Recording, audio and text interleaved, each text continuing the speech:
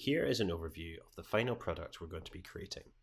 This is a complete full dome mapper that's able to support anywhere from one to four projectors. Outside of this development version, in the delivered product, users will only ever be able to see the various UI screens and the controls that they allow.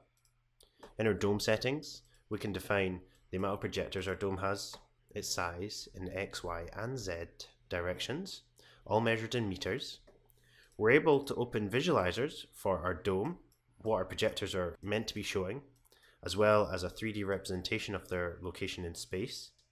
We're able to add more projectors, change the size of our UI screen if it happens to be smaller or bigger, and also change the resolution of our projectors.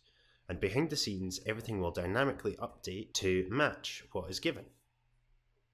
After the user has added projectors to a scene, they're then able to control their position, rotation, and field of view within the dome.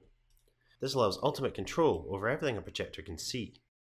Regardless of the number of projectors, special calibration colors are automatically adjusted so that when our images overlap, they produce a pure white pixel.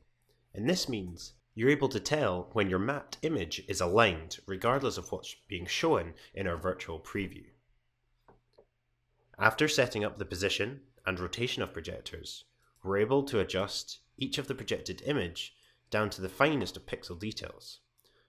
We have keystoning for the corners, we have a rough pixel map for large scale movements, we have a fine pixel map when minute adjustments are required, and we have an edge mask that allows us to seamlessly blend our two edges together.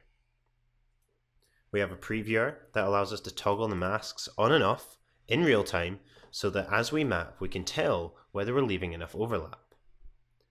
We're able to, in a performance, black out our projectors, change where we're bringing our source footage from, as well as changing our content all in real time.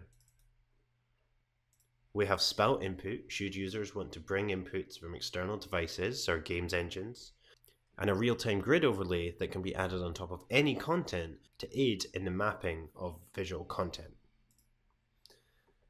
Users are able to enter a performance mode that locks down their UI so they can only mute their projectors as well as changing content and content sources. It means that once a map is in place, users cannot go back and accidentally edit or adjust what they have implemented. At all times, the stages of mapping and development are all stored so that at any point users can go back and undo what has been done. This goes across all stages of our map. This allows for unlimited control over the position of pixels and their projected output. All of this is accomplished through the complex use of 3D geometry and real-time scene capture. Inside our development, we have a real sphere that matches the dimensions of our dome that we set. We then specially apply a texture to it to give it accurate UV coordinates and cut it in half. Turning that into a 3D geometry, we're then able to capture it with a camera that we set up that mirrors exactly where our projector should be in the real world. After capturing our image, we allow the user to finally control the pixels, the ratios, and the color of the image. After processing it, we then deliver that altered image to our projector. The goal being that by using a combination of the virtual 3D scene builder, as seen in dome settings, so by aligning our projectors in the correct ratio as close to the real world as they can be, and then finally manipulating the pixels of the projected image, users are able to perfectly map any dome with up to four projectors inside of it.